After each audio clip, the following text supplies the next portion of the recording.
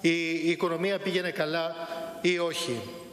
Αποτελεί ταυτόχρονα προϋπόθεση για την επιτυχία έξοδο της χώρας από το πρόγραμμα. Άρα προϋπόθεση για την επιτυχία του έργου της κυβέρνησης της αριστεράς. Δεύτερον, ο προϋπολογισμός επιχειρεί ή θα έπρεπε να επιχειρεί να στηρίξει την οικονομική δραστηριότητα με κατάλληλες αντικυκλικές πολιτικές όταν η οικονομία είναι σε ύφεση, όπως ήταν την τελευταία πενταετία και όταν υπάρχει ο δημοσιονομικός χώρος. Τρίτον, επιχειρεί ή θα έπρεπε να επιχειρεί να αυξήσει το επίπεδο των δημοσίων επενδύσεων ώστε να στηριχθεί μέσω μακροπρόθεσμα ο οικονομικός ρυθμός μεγέθυνσης ακριβώς εκεί που η ιδιωτική οικονομία δεν μπορεί να δραστηριοποιηθεί.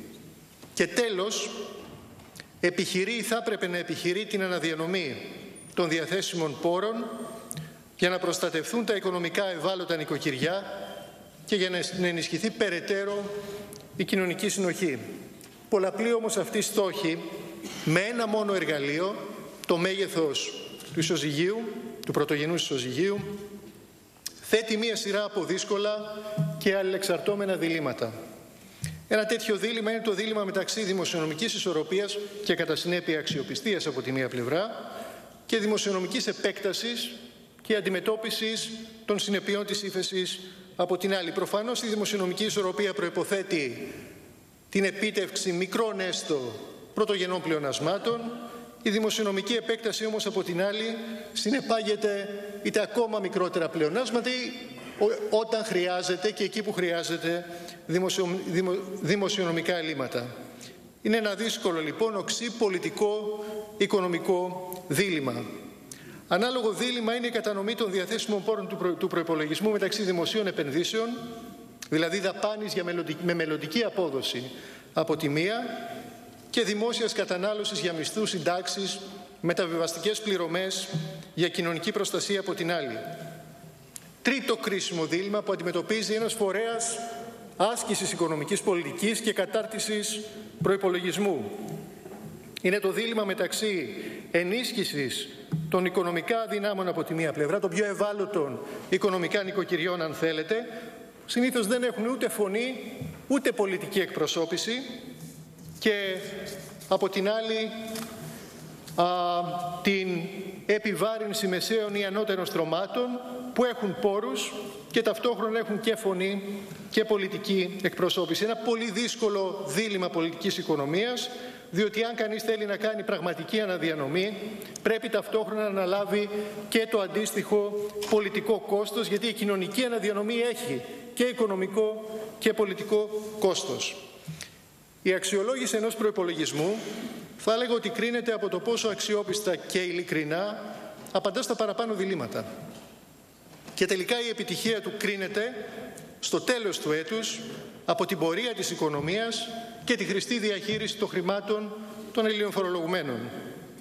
Θα έλεγα μάλιστα εδώ ότι ο προϋπολογισμός του 2016, που είναι ακόμα υπό εκτέλεση, δεν έχει τελειώσει το οικονομικό έτος, έχει ήδη κριθεί επιτυχής, πρώτον διότι συνέβαλε στην εμπέδωση της εμπιστοσύνης στην ελληνική οικονομία. Δεν έχω καμιά αμφιβολία ότι η πολύ καλύτερη επίδοση της ελληνικής οικονομίας το 2016 από αυτή που προβλέπαμε, που προέβλεπαν πάρα πολύ και η αξιωματική αντιπολίτευση α, α, ανάμεσα σε αυτούς οφείλεται και στην καλή δημοσιονομική διαχείριση ενώ ταυτόχρονα ο ίδιος προϋπολογισμός ενίσχυσε όσο μπορούσε τα νοικοκυριά που ήταν στο όριο της φτώχειας με το ποσό των 272 εκατομμυρίων ευρώ σε συνθήκες εξαιρετικά ασφικτικές.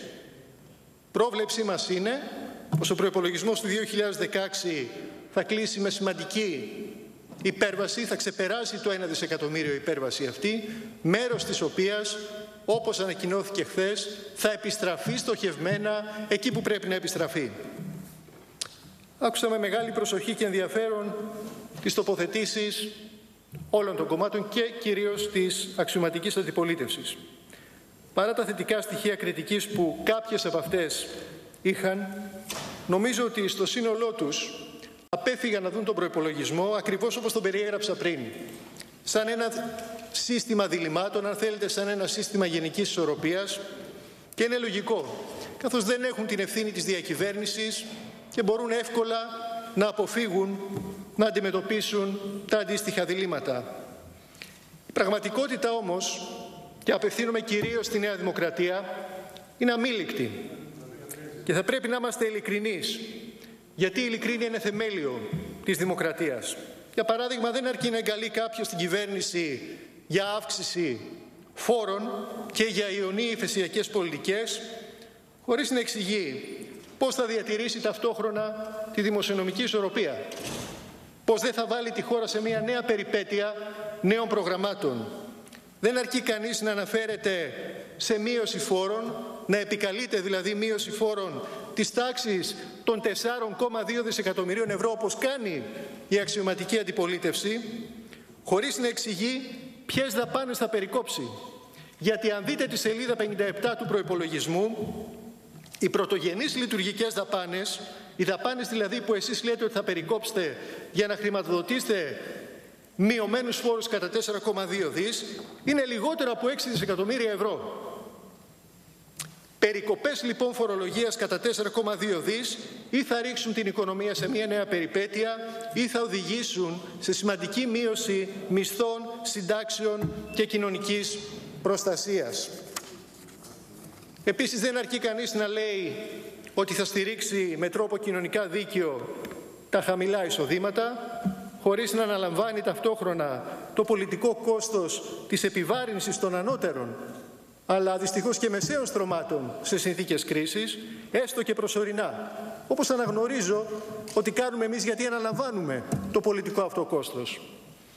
Ο προϋπολογισμός του 2017 έχει λοιπόν στο πλαίσιο αυτό, σε ένα πλαίσιο θα έλεγα εξαιρετικά δύσκολο δημοσιονομικά και μακροοικονομικά, έχει θέσει τους εξής στόχους. Πρώτα απ' όλα η περαιτέρω εμπέδωση και πλήρης ανάκτηση της δημοσιονομικής αξιοπιστίας, ώστε μέσα στον επόμενο χρόνο η χώρα να είναι ήδη σε θέση να αντλήσει κεφάλαια από τις διεθνείς αγορές και να αποβάλει μία και καλή το 2018 από πάνω της τη Διεθνή Επιτροπή που υπαγορεύει προγράμματα προσαρμογής. Η αξιοπιστία έχει μία τιμή και η τιμή της αξιοπιστίας είναι το μακροχρόνιο επιτόκιο δανεισμού. Όσο ανακτάς αξιοπιστία, τόσο μειώνεται η τιμή αυτή και τόσο επιτρέπει στη χώρα να δανειστεί απευθείας και γρήγορα θα έλεγα από τις αγορές. Δεύτερον, δεύτερος στόχος του προϋπολογισμού, η αναγκαία δημοσιονομική προσαρμογή πρέπει να γίνει με, κοινωνικό, με κοινωνικά δίκαιο τρόπο, με κοινωνική δικαιοσύνη. Το 2015, στο πλαίσιο της εκτέλεσης ενός προϋπολογισμού που είχε ήδη συνταχθεί από την προηγούμενη κυβέρνηση, η κυβέρνηση της αριστεράς βρήκε τους πόρους, βρήκε 100 εκατομμύρια ευρώ για να ξεκινήσει το πρόγραμμα αντιμετώπισης της ανθρωπιστικής κρίσης και να στηρίξει τους πιο αδύναμους οικονομικά συμπολίτες μας.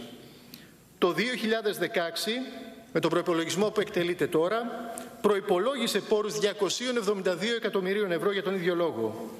Ο επόμενος προϋπολογισμός, που θα ψηφιστεί αύριο από τη Βουλή, ενσωματώνει 760 εκατομμύρια ευρώ για την οικονομική ενίσχυση των ευάλωτων οικοκυριών, άλλα 300 εκατομμύρια ευρώ για τον προϋπολογισμό των Υπουργείων Υγείας και Παιδείας, και επιπλέον 250 εκατομμύρια ευρώ για τη στήριξη των δημοσίων επενδύσεων, ακριβώς επειδή το συγχρηματοδοτούμενο σκέλος θα μειωθεί κατά τη.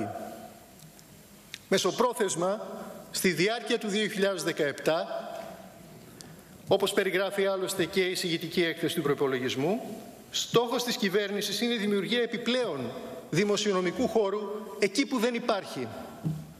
Πρώτα απ' όλα με την ολοκλήρωση της επισκόπησης των πρωτογενών λειτουργικών δαπανών που έχει ξεκινήσει σε πιλωτικό επίπεδο από τον προηγούμενο Σεπτέμβριο και δεύτερον με τη διεύρυνση της φορολογικής βάσης μέσα από μία σειρά δράσεων πιο χαρακτηριστική από τις οποίες είναι τα επιπλέον κίνητρα, τα νέα κίνητρα για τη διευρυμένη χρήση ηλεκτρονικών μέσων πληρωμής ώστε ο προϋπολογισμός του 2018 να είναι ακόμα πιο κοινωνικά δίκαιος και ακόμα πιο αναπτυξιακός. Κανείς δεν πανηγυρίζει. Και κανείς δεν έχει δικαίωμα να πανηγυρίζει όσο η χώρα είναι σε πρόγραμμα προσαρμογής, όσο δεν έχει τα περιθώρια να δανειστεί από τις αγορές και κατά συνέπεια να ανακτήσει βαθμούς ελευθερίας, όσο δεν έχουμε τη δυνατότητα να ασκήσουμε τη δημοσιονομική πολιτική που θα θέλαμε να ασκήσουμε. Μια αντικυκλική δημοσιονομική πολιτική σε συνθήκες κρίσης με ενισχυμένο δίκτυ κοινωνικής προστασίας.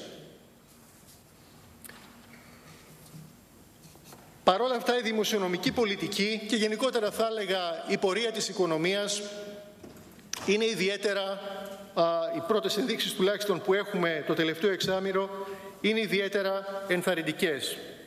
Ξέρουμε πια ότι η ύφεση τερματίστηκε το δεύτερο τρίμηνο του 2016. Όπως λέγαμε εμείς την ώρα που η αντιπολίτευση κατηγορούσε την, την κυβέρνηση ότι βήθησε τη χώρα περαιτέρω στην ύφεση.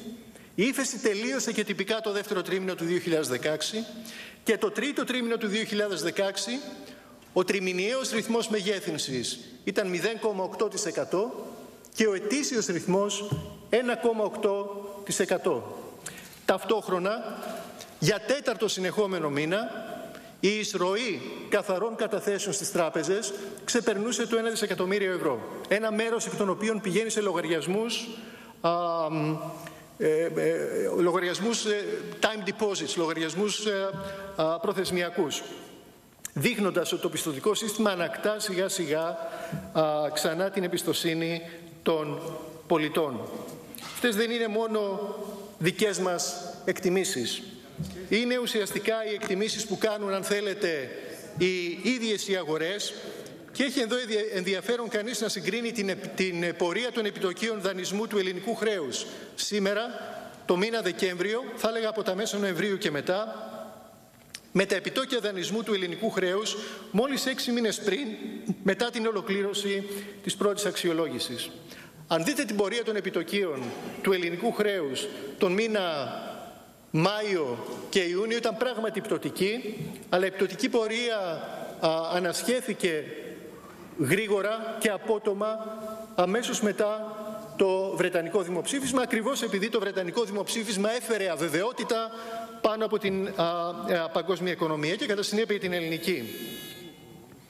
Τώρα, αντίστοιχη αβεβαιότητα προκάλεσαν οι αμερικανικές εκλογές και η προσδοκία ότι η οικονομική πολιτική της νέας αμερικανικής διοίκησης θα οδηγήσει σε αύξηση των επιτοκίων διεθνώς.